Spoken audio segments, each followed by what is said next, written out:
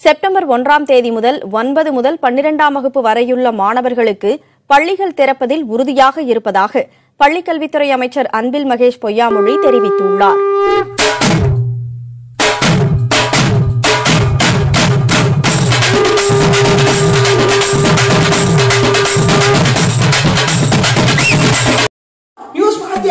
School open பண்ண போறாங்களா? ஆமா ஆமா ஆமா.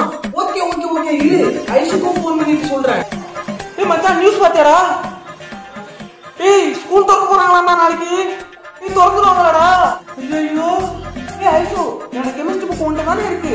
எனக்கு தெரியும். நாளைக்கு வரப்ப எடுத்துட்டு வா. என்னோட புக்கு ஒன்றை கொடுத்தேன் நான் வச்சிருக்கேன் மச்சான். என்னோட யூனிஃபார்ம்லாம் எங்க வைக்கிறீங்க உன்னோட ஸ்கூல் யூனிஃபார்ம்லாம் வச்சிருக்கியாடா என்னோட யூனிஃபார்ம்லாம் எங்க அம்மா கருத்து பண்ணி வச்சிருக்கீங்களா உன்னோட புக்கு யூனிஃபார்ம்லாம் எடுத்து வச்சிருக்கியாடி நான் தான் ரெடி பண்ண போறேன். போய் எடுத்து வைடி. நான் ஸ்கூல் போகணும் என்ன புரியுதா? மச்சான் நாளைக்கு ஸ்கூல் போறியா மச்சான்? நான்லாம் வரலடா. நான் ஒரு வாரம் கழிச்சு தான் நாளைக்கு எட்டு மணிக்கெல்லாம் ஸ்கூலுக்கு போகணும். அப்படின்னா நம்ம நேரத்துல தூங்கணும். அம்மா நாளைக்கு ஸ்கூல் போக போறேன். அது நேரத்துல தூங்க போறேன். எதுவும் வேலை விடாதீங்க. திறந்தா நம்ம போகணுமா?